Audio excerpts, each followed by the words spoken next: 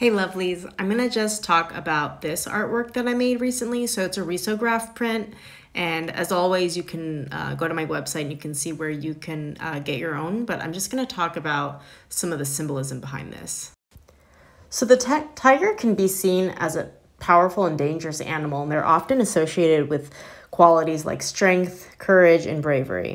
However, the tiger also symbolizes things connected with the East, with Asian cultures. Now, although the tiger is associated in Western cultures as powerful, strong, when they're associated with Asian women, they're associated with negative traits like being a tiger mom, irrationality, overreaching, overbearing. So, this artwork really plays with those two different Western Eastern ideals of what it means to be a tiger as an Asian woman.